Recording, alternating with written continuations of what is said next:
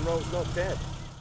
It's funny you can be in this and it will turn more heads than being in a new Ferrari, and and I, and I like that about it, you know. And um, yeah, it's uh, it's it's it's got like crushed red velvet on the roof. I mean, the whole interior is Chesterfield. Um, it's done 15,000 miles from new. Sheepskin carpets. It's the last of this era of Mini, and you only have to look at a new Mini to realise uh, how small and cute these ones are. Even even this one being the biggest, as it were, of the old Mini shape.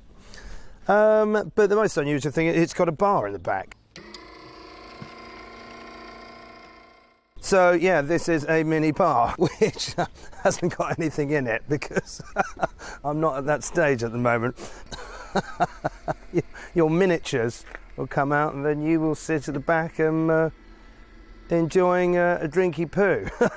As you could see. Like you've Uh, had a party already. well, no, trust me, I didn't get through those. There's nowhere it goes where it doesn't attract a little crowd of people because it's such a a cute little thing, you know. And inside also we've got a we've got a little uh, a sort of a red light which gives this kind of red glow. So you've got these crushed velvet curtains. Um, you know, it's like a it's like a French boudoir inside, but um, but it's a lot of fun and it's very rock and roll and um, yeah, you know. But um, you know, we've had a day in the sun, and I've got I've got to make some space.